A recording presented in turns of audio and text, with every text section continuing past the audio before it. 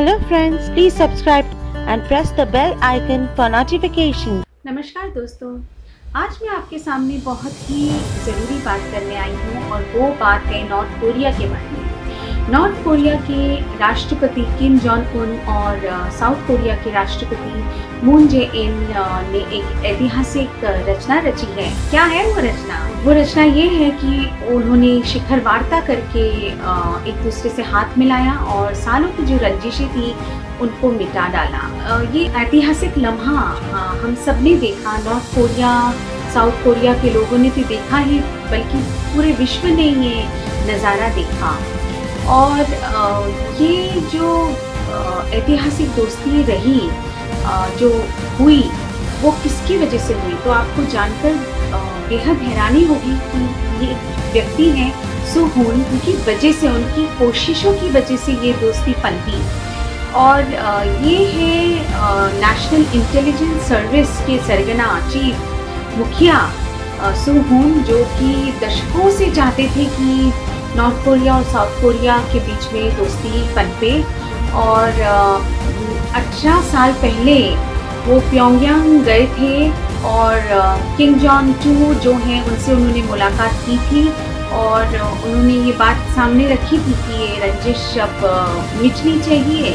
पर उनकी बात को कोई तूल ना दिया गया और उनकी बात को नकार दिया गया।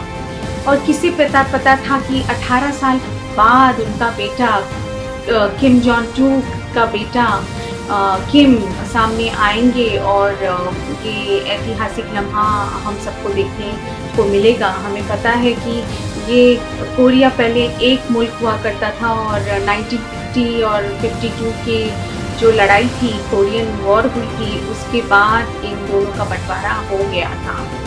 तो ये बात हम सबको बहुत अच्छी लगी कि एक व्यक्ति जिन्होंने दो दशकों से इतनी मेहनत की तो उनकी मेहनत सफल हुई और हमें कैसे पता चला? जब किम जॉन उन और मून जे इन हाथ मिला रहे थे, तब सुहून पीछे खड़े होकर रो रहे थे।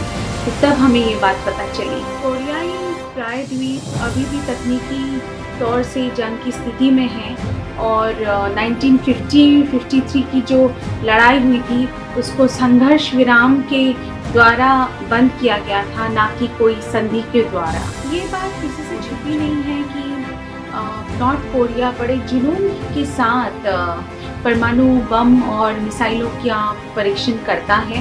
और इससे जो कि पड़ोसी देश हैं, जैसे साउथ कोरिया, चाइना और वो ही क्यों? बाकी सब देश अमेरिका और पूरा विश्व बड़ा ही चिंतित है कि इससे क्या, इसका क्या नतीजा सामने आएगा।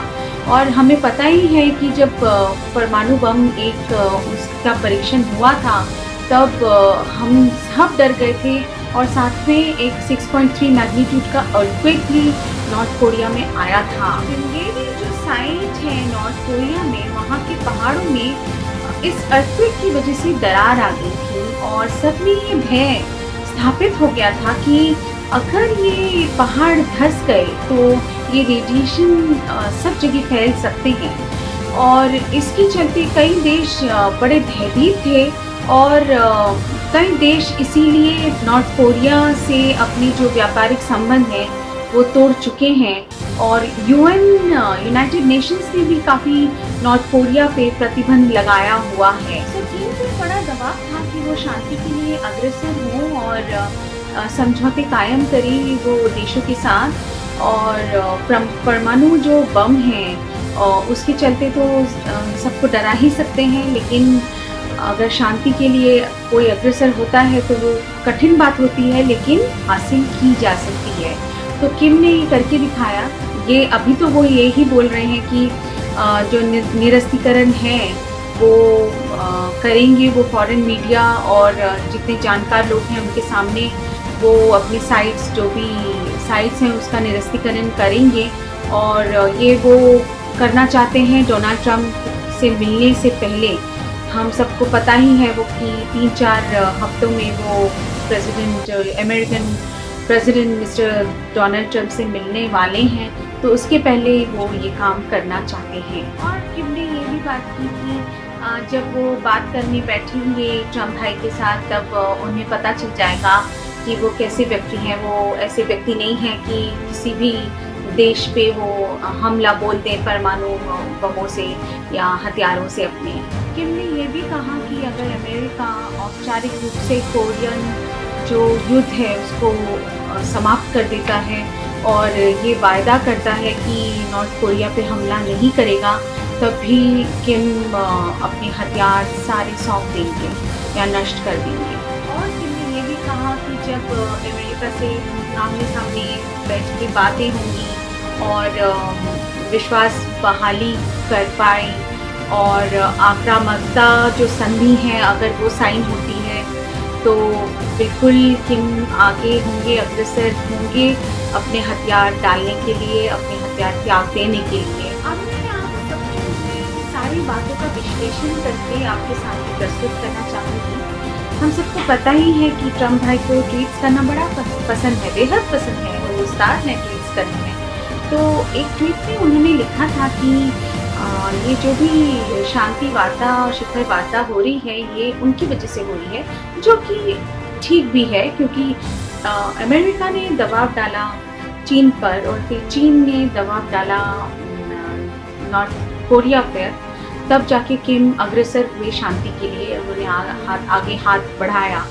तो नॉर्थ कोरिया क्यों इतनी बात मानता है चीन की? क्योंकि ये हम सभी को पता है कि व्यवसाय, जब व्यवसाय की बात आती है आर्थिक समर्थन की बात आती है तो नॉर्थ कोरिया चीन पर बहुत निर्भर करता है।